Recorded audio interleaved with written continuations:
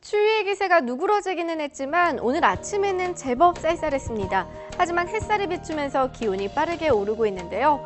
오늘 하늘도 공기도 몬조온해서 바깥 활동하기 오롯한 날씨가 이어지고 있습니다. 오늘 배워볼 첫 번째 우리말은 몬조온하다입니다. 성질이 차분하다는 뜻인데요. 오늘 비나 눈 내리는 곳 없이 맑고 포근한 날씨가 이어지고 있죠. 참고로 사람의 얼굴이나 그 모습이 위풍이 없이 초라하다는 뜻도 갖고 있습니다. 성품이 부드러움의 뜻을 가지고 있는 다른 단어들도 알아보면 연악낙하다, 사글사글하다, 틀수하다가 있습니다. 두 번째 우리말은 오롯하다입니다. 모자람이 없이 온전하다라는 뜻으로 완전하다, 원만하다와 같은 의미입니다.